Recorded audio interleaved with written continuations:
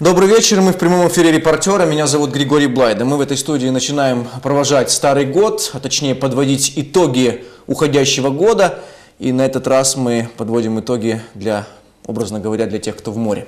А, представитель морской а, партии а, у нас сегодня в студии. Светлана Осуленко, лидер фракции Украинской морской партии в Одесском горсовете. Светлана, добрый день. Добрый. И председатель Совета ветеранов Черноморского морского пароходства Олег Пастернак. Добрый, добрый день. день. Ну давайте вот э, сразу начнем о том, э, что стало неприятным, самым неприятным, да, потому что все-таки заканчивать будем чем-то приятным, но начнем с, с того, что тревожит одесситов. А, тревожит одесситов тарифы. А в этом году Украинская морская партия запустила масштабную акцию под названием «Стоп тарифам», и были собраны, если не ошибаюсь, 25 тысяч подписей в поддержку снижения тарифов на государственном уровне. Какова судьба этих подписей сейчас? Добрый вечер. А, ну, во-первых, хочу сказать, что мы не так уж в море, а вполне на суше и занимаемся насущными проблемами одесситов и всех украинцев. Что касается акции, это такая, наверное, одна из масштабных акций Украинской морской партии, а, инициатива лидера Сергея Кивалова. Это и сбор тарифов, это и общественные акции, это и планомерная тяжелая работа, которую не видно и которую не показывали в телевизоре. Я хочу сказать, что а, рост тарифов это просто да, уничтожение населения. И Украинская морская партия делала и делает от себя все зависящее для того, чтобы снизить это бремя.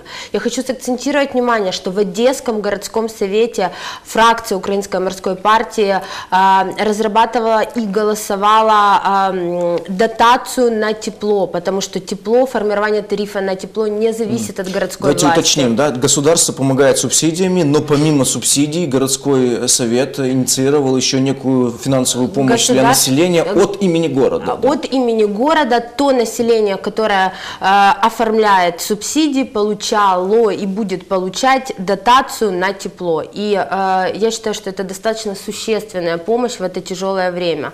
Э, установка тепловых счетчиков, которая позволяет сэкономить, снизить энергопотери для того, чтобы ну, по счетчику заплатить ну, максимально реальные тарифы. Достаточно много нареканий у населения в отношении программы установки тепловых счетчиков, точнее даже не столько на саму программу, насколько то, что их нет. До сих пор у многих их нет. Вот в этом, в следующем году сдвинется эта ситуация с мертвой точкой? Знаете, Каковы запланированы дек, в этом а, а, Государство декларирует каждый раз, что оно поможет, что оно будет датировать, что будет государственная субвенция, а ее а, по-прежнему нет. Поэтому Поэтому город берет на себя это финансовое бремя и устанавливает тепловые счетчики.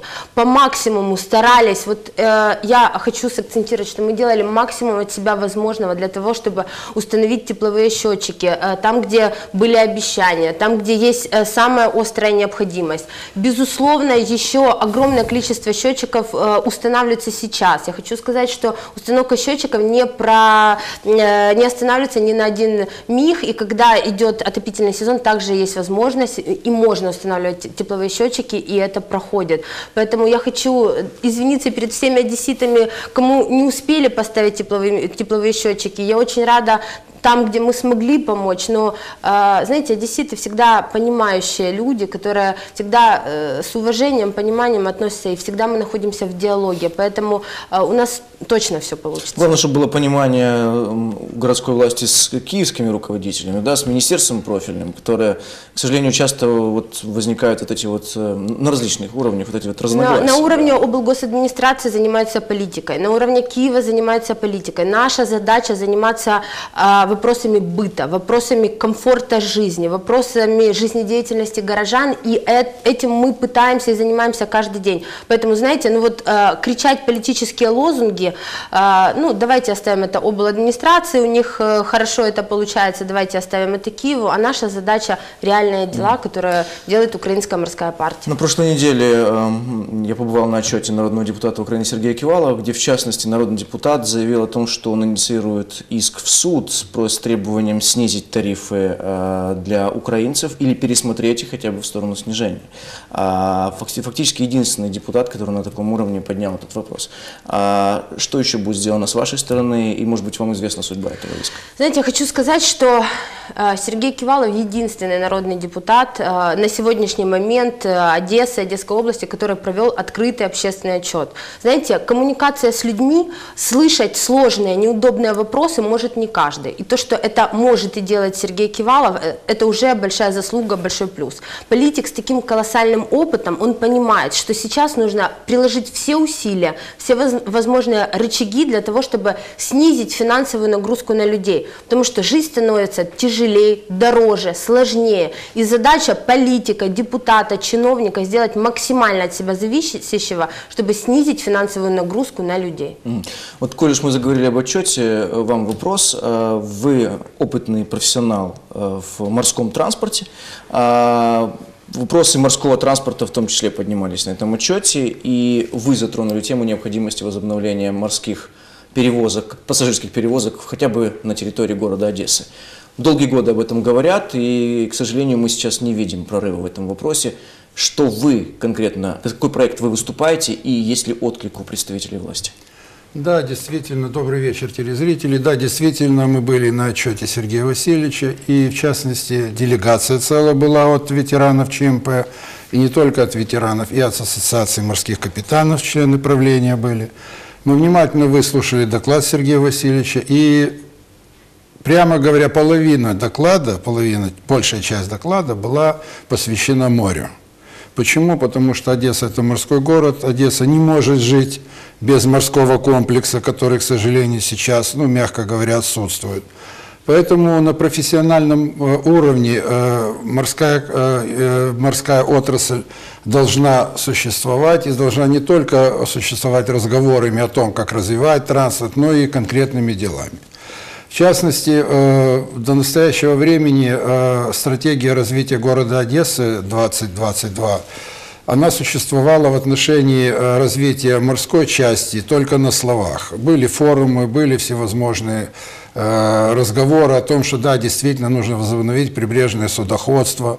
Но на отчете Сергея Васильевича было прямо сказано, что э, и партия, и он сам лично уже разработали проект муниципального пароходства, который сегодня существует. Уже сегодня конкретно действует рабочая группа, которая тоже была создана по этой же инициативе Украинской морской партии и, мягко говоря, всего корпуса депутатского, что город морской, а, о активизации в работе по возобновлению прибрежного судоходства. Были приняты многие решения, о которых в дальнейшем я могу сказать, если возникнет вопрос. И поэтому спасибо, что начала проявляться активность в этом направлении, потому что действительно а, в том виде, которое существовало Черноморское пароходство, в том виде массивных грузопотоков, которые шли через порты, этого уже не будет. Но по большому счету у нас есть э, золотая, мягко говоря, карта. Это туристический бизнес, это пассажирский бизнес, на основании которого можно уже и ставить задачу по возрождению прибрежного судоходства, как круизного, так и пассажирского, в виде, допустим, э, концепции и э, тех заданий по развитию Одесского морского трамвайчика проекта. Вот буквально вчера Вчера, да, по-моему, прошла рабочая группа в горсовете, я присутствовал на рабочей группе, Светлана Викторовна.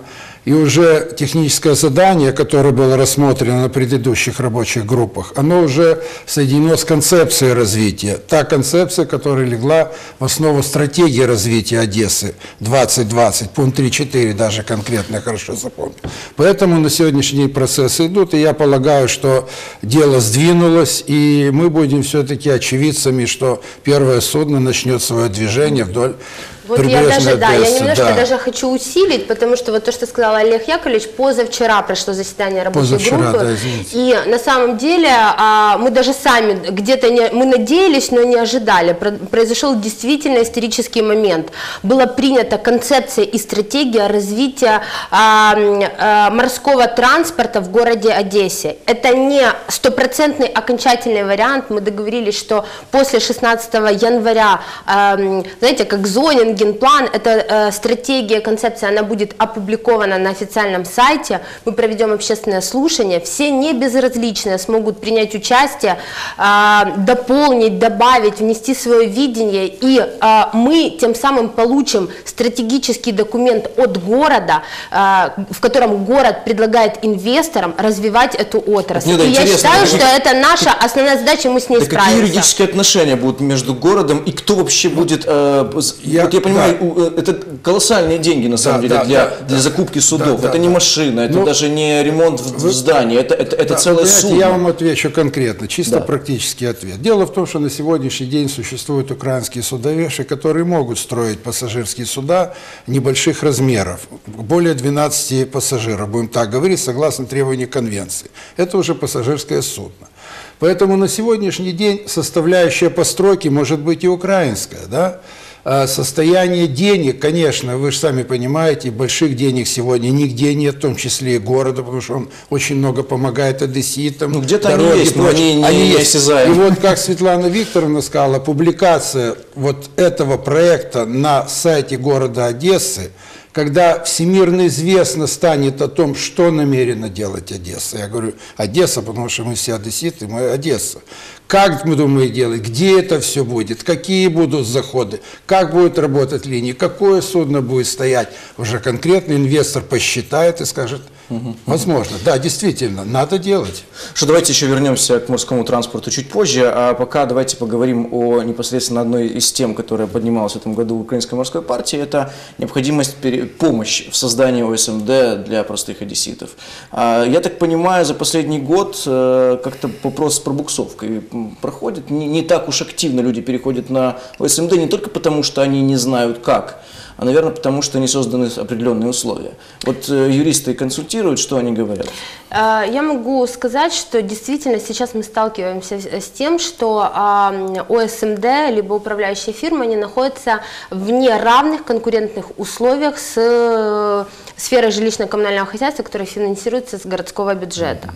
А, В этом есть проблема, но я э, подчеркиваю, что необходимо брать управление в свои руки. Я всегда э, была сторонником создания ОСМД, добиваться своих прав, отстаивать свою позицию, управлять своим имуществом. Ну, ни- никто за тебя ничего не сделает. Вот э, ты в своей квартире, в своем доме наводишь порядок сам. Здесь нам нужно быть более активными, мы делаем максимально от себя зависящее, а, а, э, делаем семинары, тренинги, круглые столы, оказываем юридическую помощь, консультацию, а, регистрируем ОСМД под ключ, делаем максимум от себя возможного для того, чтобы помочь одесситам в этом процессе. Но многие, многие хотят переходить на СМД или все-таки какой-то, чувствуете А, какой-то барьер? Многие хотят переходить на ОСМД. На самом деле прошло, э, ну, мне кажется, за год порядка 300 семинаров, э, которые, вот вдумайтесь, и это не только жители Приморского района, это жители всего города, и иногда с Одесской области приезжают, мы выезжали в Теплодар, просили нас также там провести семинар, проконсультировать.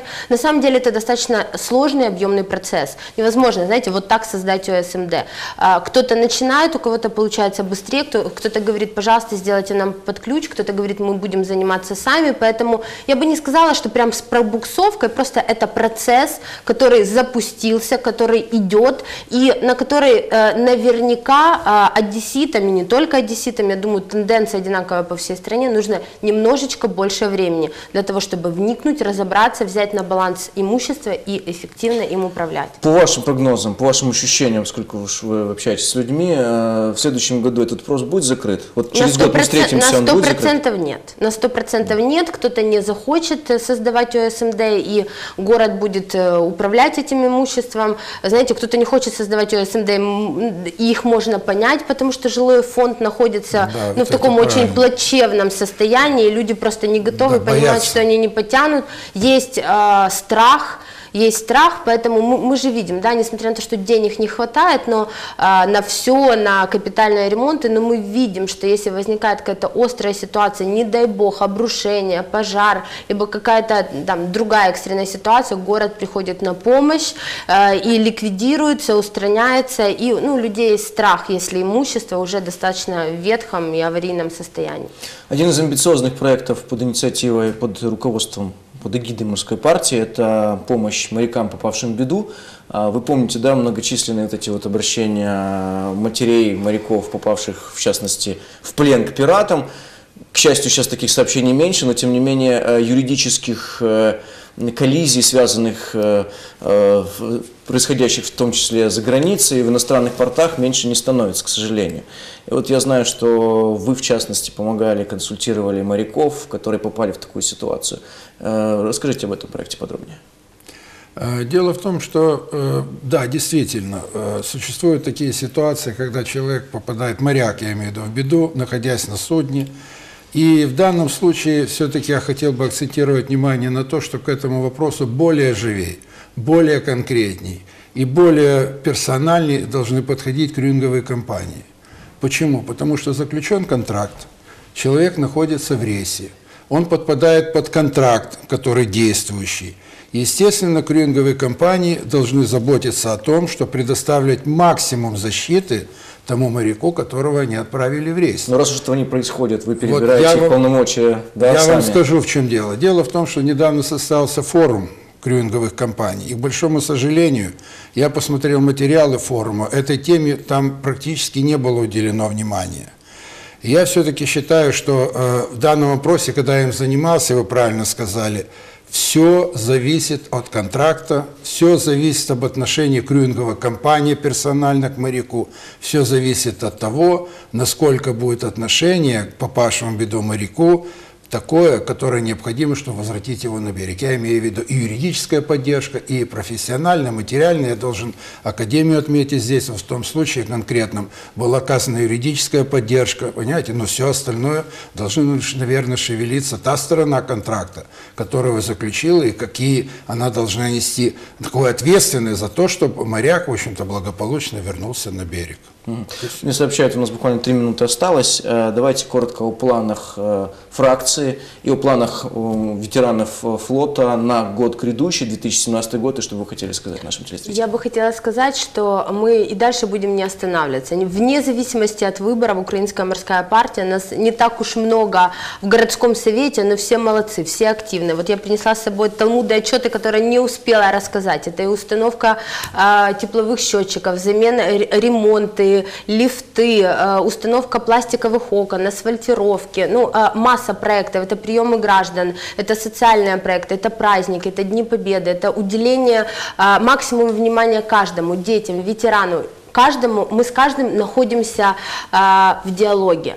Я хочу э, в уходящем году всем пожелать э, не опускать руки, всем пожелать оптимизма. Я убеждена, что следующий год будет лучше. Ну вот просто мы не имеем права. Одесситы всегда были э, юморные, всегда были с таким задором, оптимизмом, поэтому мы не имеем права опускать руки. Мы сто процентов э, доведем до ума все те планы, которые запланировали, не знаю, сделать ремонт в квартире, э, заасфальтировать улицу, либо построить концепцию развития морехозяйственного комплекса нового в Одессе, потому что э, а, потому что мы самые лучшие, мы позитивные, мы этого заслуживаем. Я хочу пожелать всем нашим бабушкам, дедушкам, мамам, папам, всем деткам, в первую очередь, здоровья. Сейчас а, в предновогодние да, такие дни а, не очень радует погода, какая-то эпидемия, но я вот хочу пожелать всем здоровья, чтобы в, в наступающем году у всех был достаток, у всех была возможность подарить подарки, порадовать свои семьи,